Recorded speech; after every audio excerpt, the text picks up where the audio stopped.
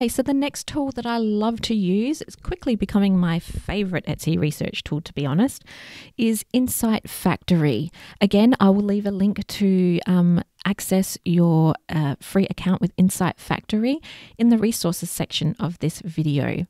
So, in this video, I'm going to share with you how I use it to find the best selling and hottest products um, within Etsy at this at this time. So it gives us up to date information about what is the best selling product um, and what's trending this week. Okay, so once you sign up for Insight Factory, just go on over to your dashboard. So I'm just going to open up my dashboard now. And then once you're inside, what you want to do is you want to go to the trend section. Again, I'm going to be sharing with you all the um, tools that I use within Insight Factory. Obviously, there are way more tools in here that you can use to uh, research your products. Um, there are some fantastic ways to use Insight Factory. You can hook it up to your actual Etsy shop to find out what is um, what current products are recommended for for you specifically to sell as it relates to the niche that you sell on your Etsy shop. So, yeah, it's really, really fantastic. Definitely something you want to dive into. But in this tutorial, I just want to make it as concise as possible um, and share with you exactly how I use it to find trending products um, for my Etsy shops. Okay, so I just want to share with you how I use this. Now, there is a couple of different ways that I like to use um, Insight Factory.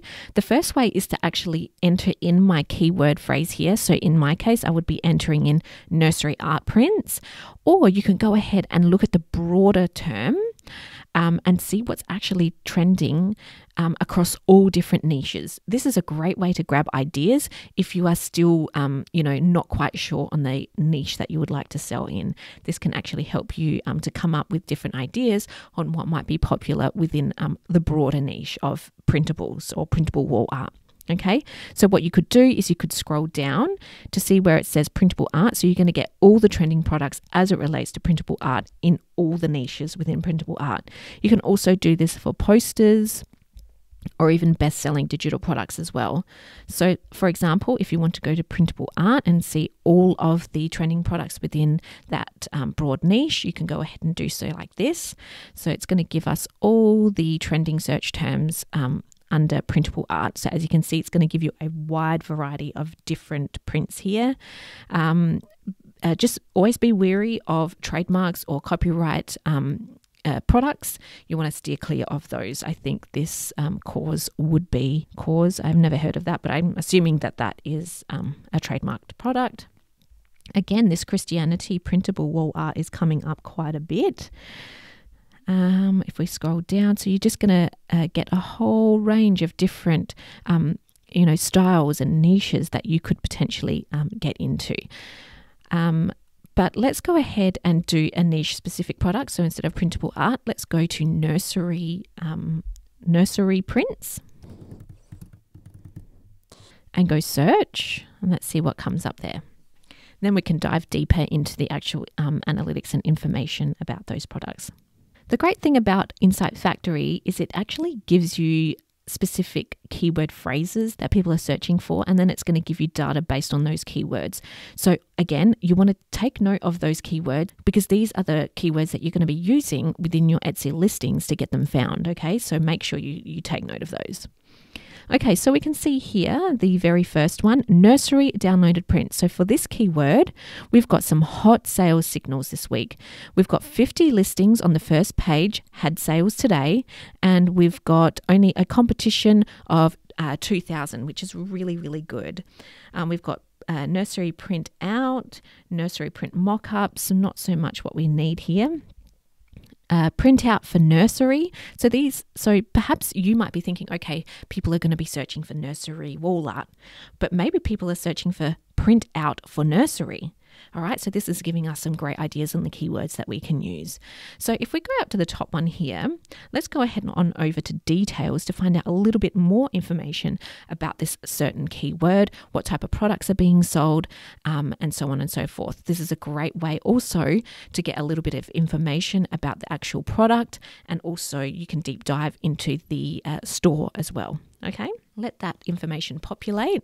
I use Insight Factory for a lot of the details of my products um, as I list them to Etsy. Um, so yeah, definitely um, a tool worth having, okay? Because you can get um, the best selling tags for the keyword, you can generate a title, generate description, as you can see right here. Okay, let's go ahead and scroll on down. What I like to do is I like to filter it by how many uh, sales I've had in a seven day period. So if you click on that, it's going to give you the, the least. And then if we click it again, it's going to give you the most. So here we can see, um, I think this is a physical product, so we don't want that.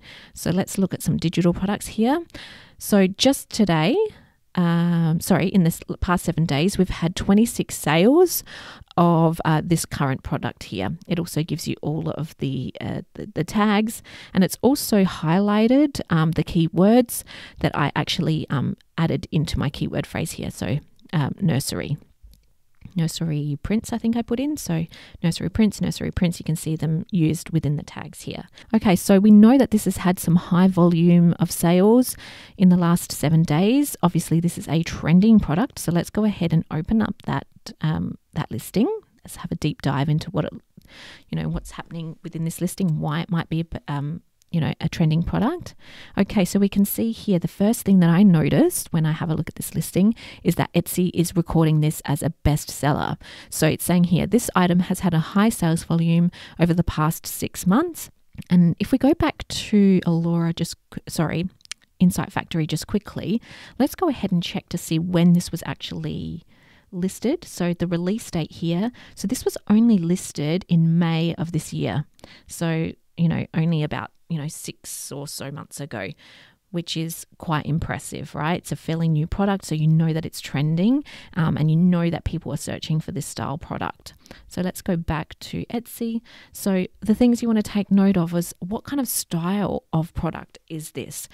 You can see here it's a realistic watercolor style of safari animals. So you want to take note of these things. So when you go to creating your products, you're looking at like what kind of artistic style is being used um, you know um, how is it displayed you can see here this is a set of six posters not just one so perhaps having six of them you know is more appealing it's like in a bundle um, how is it being laid out on the actual um, print itself. What do the mock ups look like? What description are they using? So, you know, you want to take note of all of that information. You just want to collect as much information as possible so that when you dive into creating, you're not just going in blind. You know exactly what you're going to do, you know where you're going to get your inspiration from, um, and you know that if you are basing your designs on these sort of products, these trending products, you know that they're going to get sales. And that's what we want. We don't want to waste our time creating things that aren't going to sell. Okay. Let's go back to um, Insight Factory and see what else is available here. So, again, we've got like another bundled up here. So, let's go ahead and have a look at that. So, we've got here the Sue Art Print Studio. I believe that that was actually one of the shops that I was looking into. Yes, we can see here. So, that was one of the shops that um, I found previously using Alura. So we've got 2,346 sales again. So you would just have a look um, over their products, see what kind of style they have, what kind of products they have, um, how are they bundling it up. A lot of these are sets of three, so that's something you want to take note of. Again, so what I would do is I would take that information, copy it, go ahead on over to Alura, paste that into the shop analyzer, and then go ahead and download the CSV to grab that information and then add it to our master list. Okay. So I was deep diving into Insight Factory and I also found uh, this listing here. And when we open up this listing, we can get a little bit more information about the product and also deep dive into the shop. So here is a set of woodland animals uh, prints for a nursery. We can say see here it's a best-selling item. And now if we go to this shop, I just wanted to dive deeper into this shop. I thought it was quite interesting. Um, so you can see here we've got 65,000 sales in this shop. Um, and yeah, you can see there's a lot of uh, nursery prints or, or children's artwork included in this shop.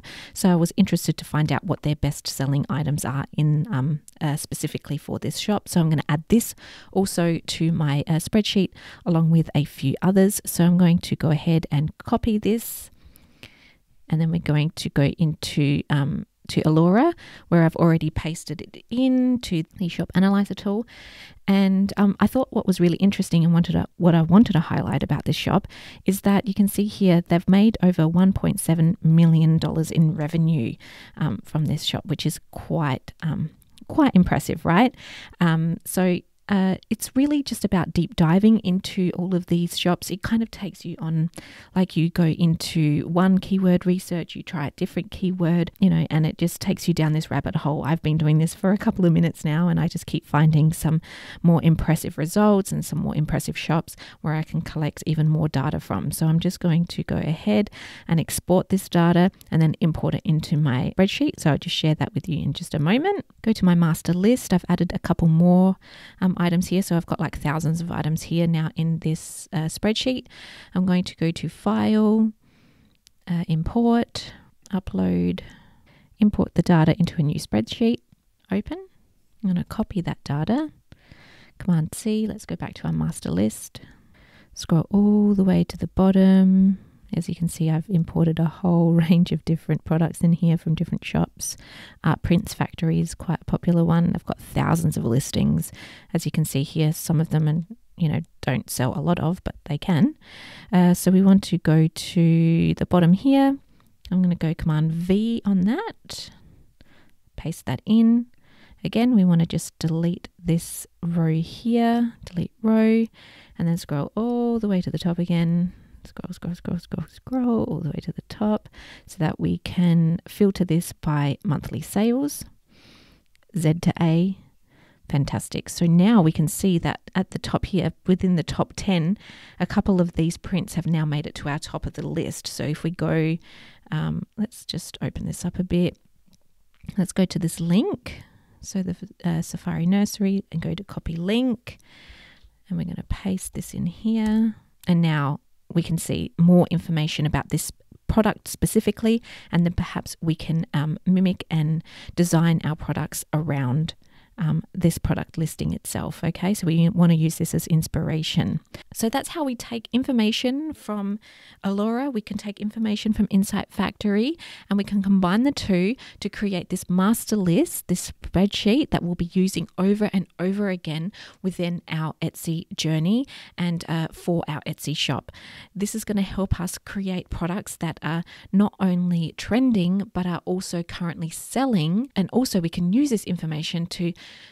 confidently create best selling items to help us get the best possible result from the creations that we make because we don't want to be creating products that people aren't going to be buying. We want to be creating products that people are searching for, that people are purchasing. That way, we have the uh, the best chance of success in our Etsy shop. Okay, so I hope that this was helpful. I hope that you take these lessons and use these tools to create your own master list of products that you could potentially um, create yourself, um, and then hopefully set you up for success for the rest of this Etsy journey. Okay, I will catch you in the next video.